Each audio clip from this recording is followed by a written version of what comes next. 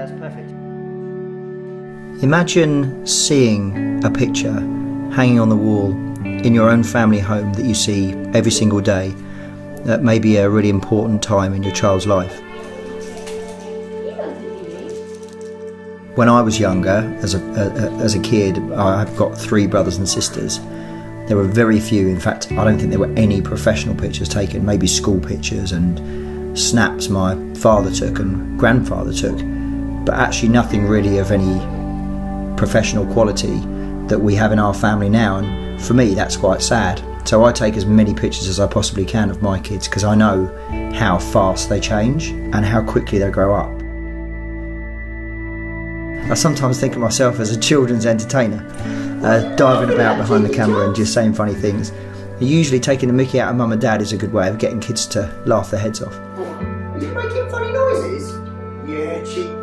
Uh, most people, the thought of them being photographed actually fills them with dread.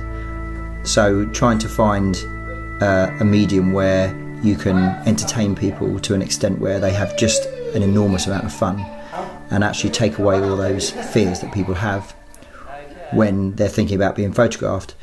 Um, the experience that I've got with all those families really helps me to understand uh, those issues um, and just do a really fun and relaxed shoot.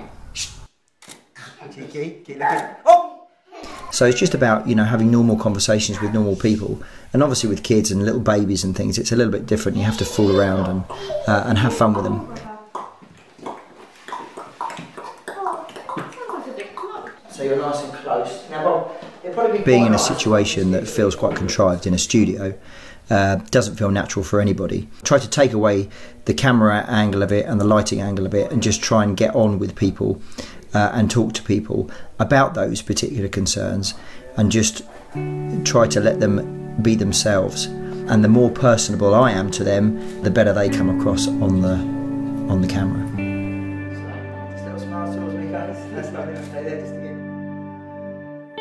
I like to think that most families would have a very fond memory of the actual experience in the studio because that's ultimately how we achieve the pictures that I get.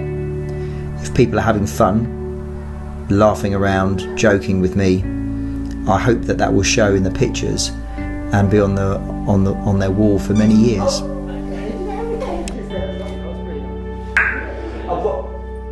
Was that you?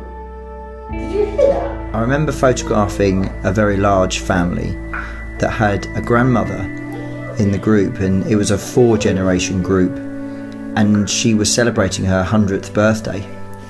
And she that was the reason for the portrait. And I remember that she danced around the studio, uh, telling me that um, she felt no older than 60.